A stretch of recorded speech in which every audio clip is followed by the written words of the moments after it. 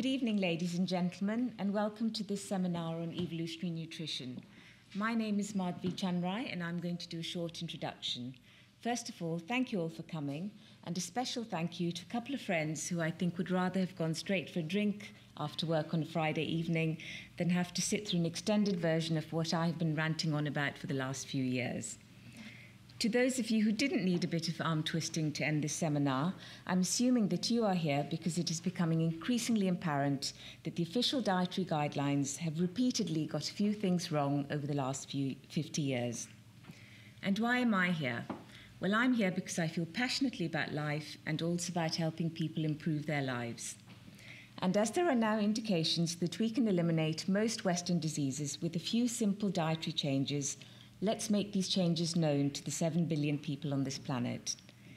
Some of you might say that as we are all living longer than ever, do we really need meetings like this one? Can't we just sit back comfortably in our chairs and follow the recent upward trajectory of lifespan? Well, my concern is not only about increasing longevity, but more about improving the quality of our lives. What's the point of living to 100 if you're demented, need full time care, and can't recognize your nearest and dearest for the last few years of your life? Or if one were to think of diabetes as a country, at 208 million, it would be the fifth most populous country in the world. So if altering one's diet can abolish one's risk for acquiring diseases like diabetes, then why not do it? In recent years, we have seen a sea change in dietary ideas. To me, it feels as if we are on the verge of a dietary revolution. Just as the discovery of the link between smoking and lung cancer was a groundbreaking time, so too now is the link between the Paleolithic diet and the absence of Western disease. Since the early 70s, I have read up on and tried out just about every popular and even unpopular diet that has been published, from Atkins and intermittent fasting as a teenager to vegetarianism in my 20s, but I had my big dietary aha moment only three years ago whilst reading Staffan Lindeberg's book, Food and Western Disease. One of the chapters in this book is about the Kitava study that Stefan conducted in 1989.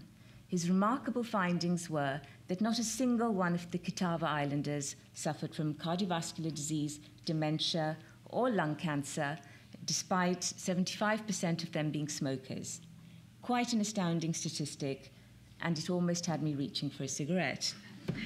Just as I was inspired by Professor, Lan- Professor Staffan Lindeberg's book, I hope you will be too by the man himself and his extremely knowledgeable and erudite doctorate student, students, Pedro Carrera Bastos and Maelán Fontes Villalba. I'm hoping they will all convince you to go back to a very old way of eating.